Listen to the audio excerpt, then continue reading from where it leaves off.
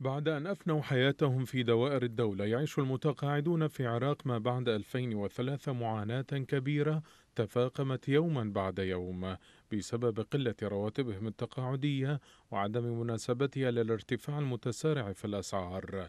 وما التظاهرات الكبيرة في جميع المحافظات للمطالبة بزيادة الرواتب وتعديل قانون التقاعد إلا دليل على حجم المعاناة لهذه الشريحة الواسعة التي بلغت أعدادها نحو ثلاثة ملايين وستمائة ألف متقاعد.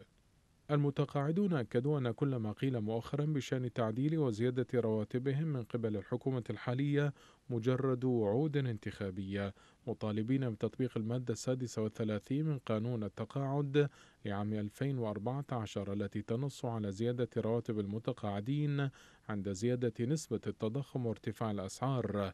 لا سيما بعد أن أصبح كثير من هذه الشريحة تحت مستوى خط الفقر. المركز الاستراتيجي لحقوق الإنسان في العراق قال إن شريحة المتقاعدين لا تستطيع أن تسد احتياجاتها الأساسية للعيش الكريم بسبب الرواتب والإعانات التي لا تتناسب مع حجم المتطلبات الإنسانية اليومية. مبينا أن ارتفاع بدلات الإيجار والمواد الغذائية وأسعار الأدوية والعلاجات وزيادة متطلبات المعيشة اليومية تمثل مشكلات يعيشها المتقاعد يوميا وسط عجزه عن سد عشرة بالمئة منها.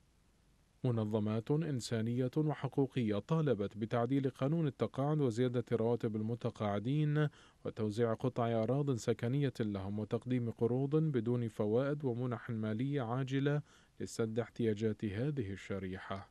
هي إذا أزمة مزمنة ومتفاقمة يعيشها المتقاعدون في العراق، أزمة جعلت منهم إحدى الشرائح الفقيرة وأثرت سلبا على معيشتهم، وسط وعود انتخابية لم تتحقق بتعديل قانون التقاعد وزيادة رواتب المتقاعدين، ما جعل هذه الشريحة ضحية التهميش الحكومي وارتفاع الأسعار المستمر.